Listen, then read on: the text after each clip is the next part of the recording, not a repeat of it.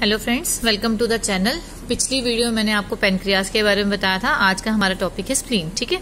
आज हम स्प्लीन के पोजीशन स्ट्रक्चर इसके फ़ंक्शंस के बारे में डिस्कस करेंगे। तो let's start what is spleen spleen is a dark purplish gland lying on the left side of the abdomen in the left hypochondriac region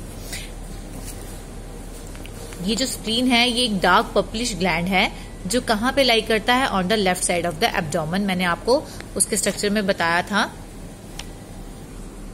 जब हमने पेनक्रियाज का पढ़ा था तो ये था स्प्लीन है ना? So it it is present in the left side of the abdomen okay so it is present at the left side of the abdomen in the left hypochondriac region कहाँ पे होता है ये?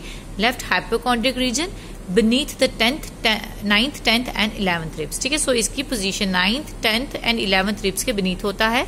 Its outer surface is in contact with the diaphragm इसकी जो outer surface है, वो कहाँ पे होती है? किसके कॉन्टेक्ट के साथ होती है? डायाफ्राइम में डायाफ्राइम के साथ कॉन्टेक्ट में होती है इसकी जो आउटर सरफेस होती है। The spleen consist of a structural connective tissue जो स्प्लीन है, ये किससे कनेक्ट होता है? बहुत सारे स्ट्रक्चर स्ट्रक्चरल कनेक्टिव टिश्यूज जो होते हैं, उनसे बना होता है। It is covered by a capsule of collagen and elastic tissue ये जो स्प्लीन है, इसकी कवरिंग किससे होती है? Capsule of collagen and elastic tissue and few smooth muscle fibres और कुछ स्मूथ मसल फाइबर्स भी इसको कवर करते हैं। The spleen blood vessels enter and leave the gland at the hilum जो स्प्लीन की ब्लड वेसल्स होती हैं, वो एंटर करती हैं ग्लैंड में और लीव करती हैं कहाँ पे?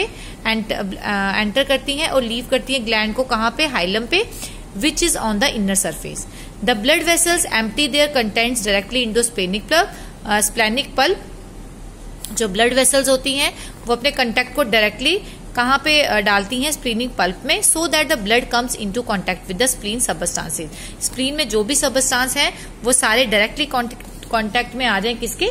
ब्लड के. इसलिए वो डायरेक्टली ब्लड में ही अपने कॉन्टेक्ट को एम्प्टी uh, करती है.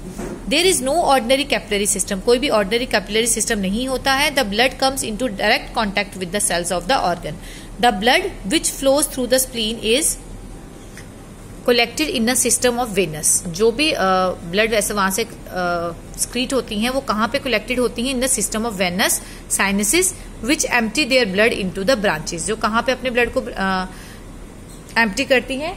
Into the branches which unite to form the splenic vein by which the blood is carried from the spleen to enter the portal circulation and be conveyed to the liver ताकि वो liver तक पहुँच सके। Then आते हैं इसके functions the spleen forms red blood cells spleen red blood cell RBC बनाता है ड्यूरिंग फीटल लाइफ जब भी एक लेडी प्रेग्नेंट होती है तो फीटल लाइफ के जो आरबीसी बनाता है, वो कौन बनाता है?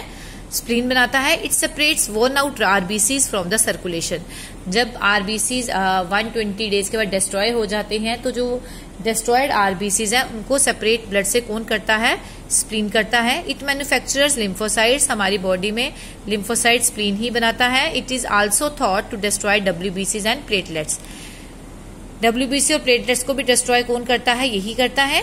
It is concern in protection from diseases it manufactures antibodies हमारी बॉडी को बाहर की इन्फेक्शन से कौन बचाता है? स्प्लीन कैसे? एंटीबॉडीज को क्रिएट करके हमारी बॉडी में। सो so, ये था फ़ंक्शन अगर वीडियो पसंद आया हो लाइक शेयर और सब्सक्राइब ज़रूर कीजिएगा।